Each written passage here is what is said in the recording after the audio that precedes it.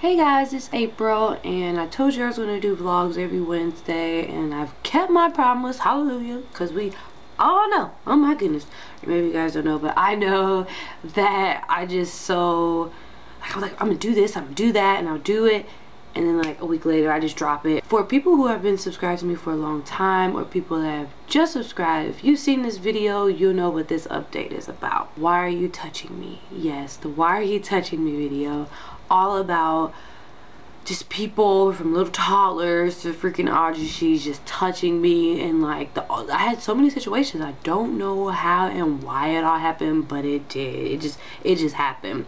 So I wanted to update you guys on am I still getting touched are ajushi still touching me? Is Tay Tay still touching me? Has Tay Tay come over here yet so this video is gonna let you guys know what's been going on okay? So thankfully i've only had one small little situation uh, well not even situation one small little bitty incident since that video.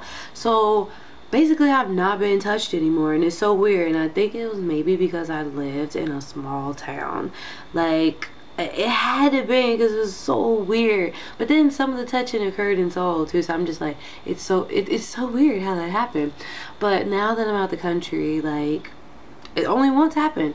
Um, one of the kindergartners from my after school program she had a crayon in her hand and she poked me in the boob and I looked at her I was like girl you are not the first one. And I told her I was like no I didn't even laugh I was like no she was like it's like, yeah, yeah, yeah. You put that, you put that red crayon down. You color on your paper, it. Stop fucking me in the boob.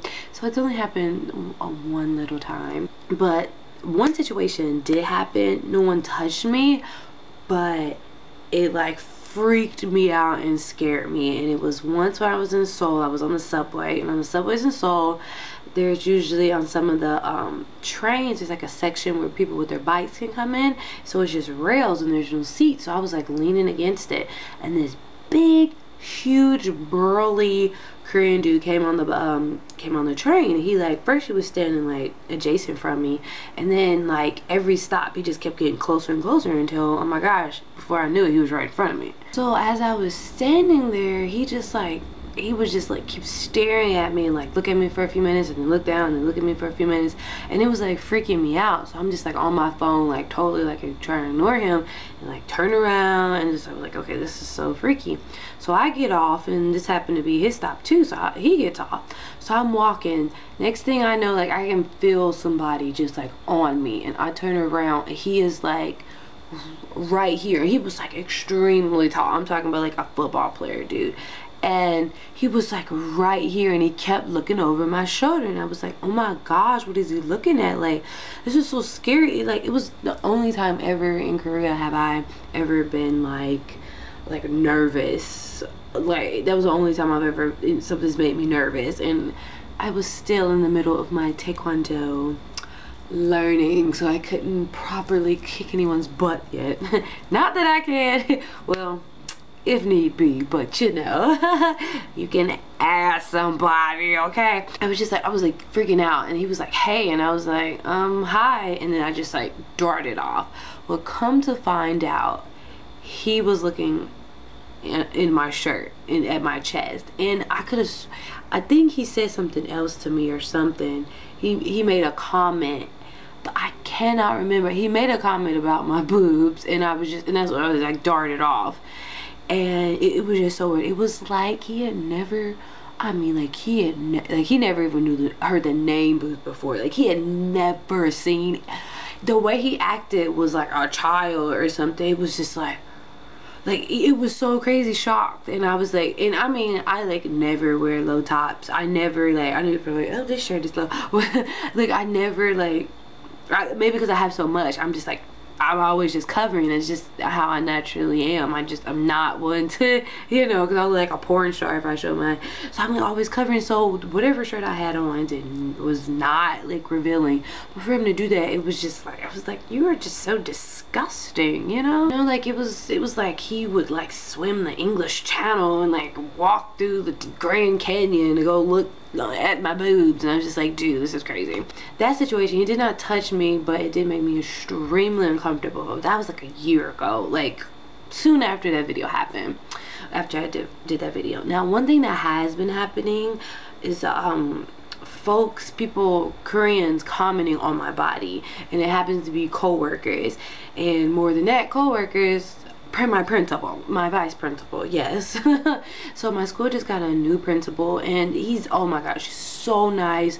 I mean just great like oh my gosh i was like wow this is like a wonderful ajushi. Like i really like him. He's so cool or whatever. I guess in korea like it's okay. I mean well, okay like i told you guys about the popping bottles. It was like a rap video video. You know we went to dinner and it turned to soju bottles everywhere. Everybody was drunk you know noraebang my principal touching all of my old principal touching all of my face.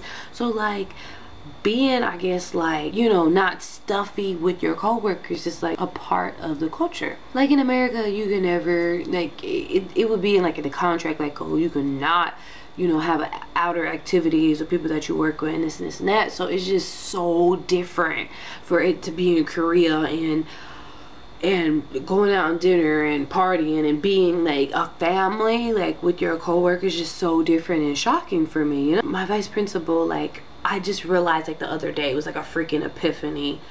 I was like oh my gosh they can't always mentions my body and I'm just I,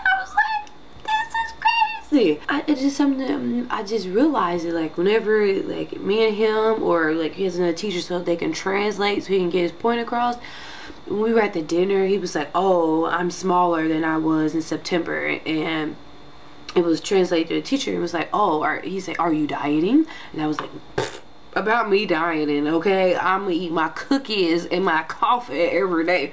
And he was like, well, oh, are you exercising? I was like, uh, no. And he was like, oh, are you walking? I was like, oh, yeah, yeah, I walk. He was like, oh, around the park in your neighborhood?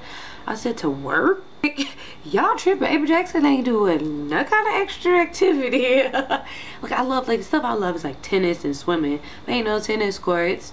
And I love badminton. And where the badminton place is at Eh, you know swimming pools like what I want to do and then like I want to get back into taekwondo and I want to do kendo.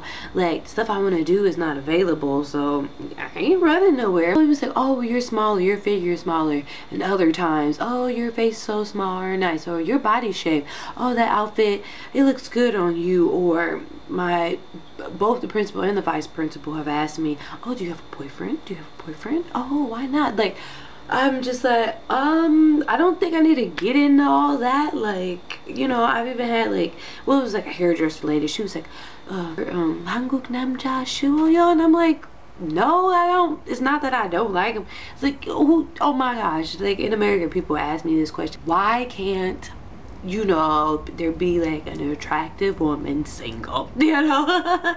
it is her decision, you know? All in all, like, it, it's just, it's, it's, I mean, I really just had to get used to it. And like, I'll even have like Korean friends, like, they'll be, they'll mention something. Like, I had a friend, we were out dinner, she was like, oh, your face is so small. And she's like, oh, I'm doing an exercise class, join. I was like, yeah. She was like, don't you want to lose weight? I was like, yeah, maybe my thighs or, you know, my legs, whatever. And she was like, not your arms? And I'm like, well, you know, if you think I'm fat, let's go ahead. Go, how about my whole body? Let's just, you know, why don't I just cut down two, three sizes? Other, you know, cultures that whose body shapes are different don't understand. You know, women of um, a different ethnicity, like you know our, our, body shape is going to be different like you know like up here or down there. It's just you know like it might be like fat to you but it's actually like normal. I'm like yeah I would love to get toned or whatever but commenting on it and like it makes me like angry at first. And I'm like you know what?